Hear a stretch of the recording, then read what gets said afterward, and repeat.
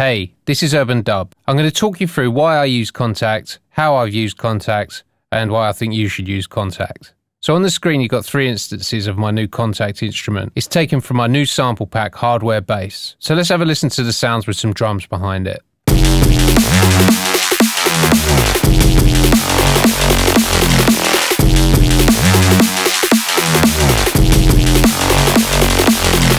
So now I'm going to take you through this Kontakt instrument. I'm going to show you all the different parameters and why I decided to use them. So on the screen, we've got three instances. I'm going to close two of them. We're just going to focus on this one here called Binman. So I'm going to create the loop in Ableton, make it shorter, just so we focus on this instrument. So let's start from the left. Portamento.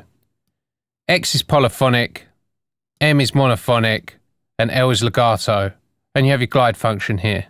I've added two filters, a low pass and a high pass with resonant peaks. I've also added some reverb where you've got the amount and the size here and a high pass filter. You've got the usual ADSR and on the right here we have two extra functions. First it's looping. Add a bit of pitch bend. And you've got a random function. This dice here, if you press it, automatically changes all the parameters across the synth. I'm not going to do it now because I want to focus on this patch. So down at the bottom we have unison, that's how many voices you have, detune amount, and the spread, for stereo. So let's add a bit. So let's put the loop on as well, and add some pitch bend.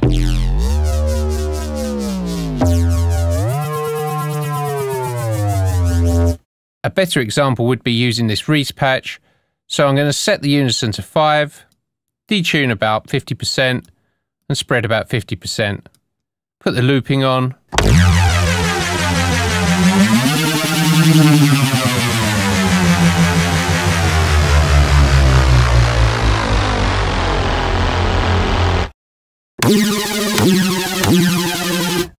So without the unison.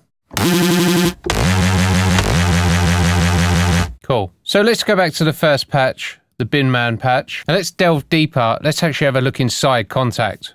See what's going on. If you've never used Kontakt before, it can be very daunting. It's a very powerful and vast sampler. So let's start at the top. You have your instrument options. I don't use it too much, so I'm not even going to go into that. You got your group editor, which we'll come back to. You got your mapping editor, which is really important. It's how you load your samples in and map them across the keyboard. And you got your wave editor, where you can see here, where you can create loop points um, and even edit the audio. The script editor I'm going to let my friend Rich Cresswell talk about. But for now, let's go back to the group editor. So with this particular patch, because we have a loop function, I needed two groups. One for playing the single one shot and one for the loop. So essentially I had to add the same sample twice. I map it across the keyboard. All of my samples which I made from this bass pack were all done in F. So I dragged it in, whether it's from here in the browser or the browser on your desktop, dragged it into the F note. I did the same here with the one shot Simple as that. And from there, I'd go back to my looping group, click on that, click on this, and then I can go down and create a loop. So, so it's quite straightforward. I hit this button here, and then I can create a loop. You have a crossfade here to get rid of any pops. So, you know, 500 is a good starting point. And if you really want to get into detail and look at the crossovers, you can click on that. If we come down a bit more, you have your source sections. So you have your sampler, DFD, wavetable, and these time machines are really useful when you want to keep the speed of a sample when you're going across the keyboard.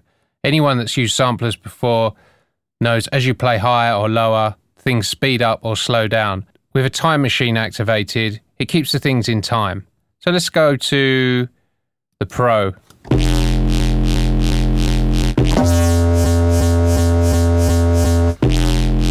Without it, you'll notice a bit more of a Reese effect, the old school speed up.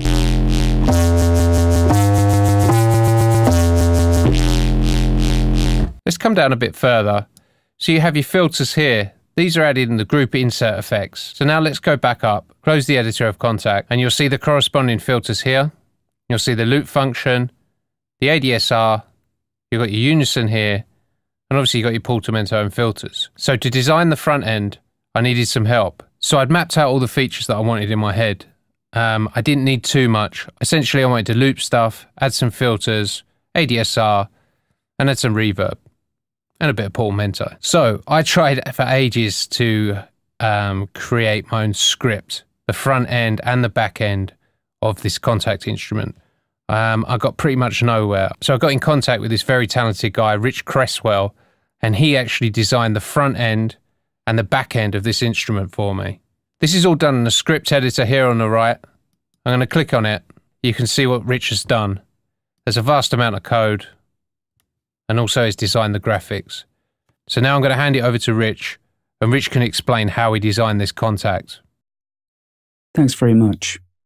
Okay, so what I'm going to do here is give you a very brief overview of the design from concept to finished product. First of all, we need to create a design. We did this in Photoshop. I'm going to walk you through the layers as they were built. We started off with a blank page to the dimensions of the instruments. Then we added in a background, and we're going to take a look at that now. Once that was done, we needed to add in some text layers so we could see how everything was going to line up. With the text layers now added, it was time to add some branding. And lastly, we needed to work out where the controls were going to be placed, ready for construction, and there we go. What we're going to do now is we're going to pop into Adobe After Effects so we can have a look at one of the animations for the reverb. Okay, so inside After Effects, we're going to have a look at one of the animations, which has three layers which form the control. What we're going to do is just move the playhead, and as we can see, the animation is nice and smooth and ready for exporting to a PNG sprite. So let's take a look at some of the script. Okay, okay, it might look a little bit confusing, but trust me, it works. The idea here with the script is that we can take the images and the animations that we've created, get it all packaged, loaded into Kontakt, and deliver you a creative instrument. And now back to the main man. Yeah, thanks, Rich. Um, it's not something I would ever profess to ever be able to do. I'm not a scripting guy.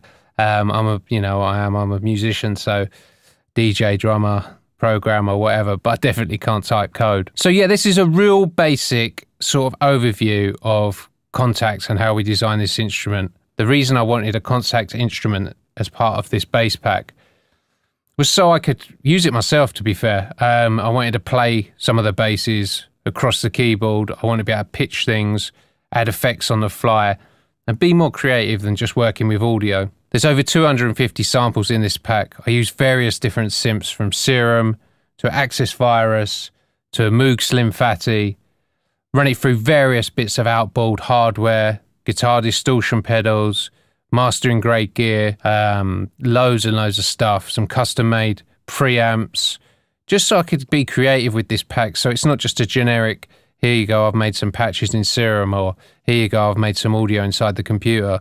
I've really gone to town. Even some of the basses, I was running through some of TB's gear, um, making the use of like some of his amazing hardware. It's been a really hard process to get this pack finished. It's taken months to finish this pack but it was well worth it. You know, I'll use these sounds in my own music. So if you want to grab a copy, feel free. And the link's in the description. So thanks for watching. Big up, Rich. And uh, yeah, get your Kontakt out.